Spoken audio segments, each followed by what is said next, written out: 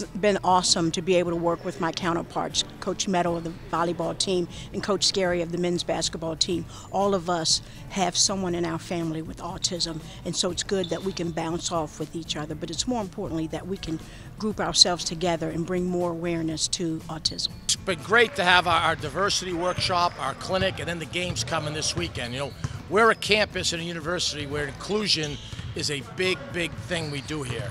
And to collaborate with the academic side and all our other athletic teams and just to see the turnout, we do it right here at Towson, and I'm really excited about that.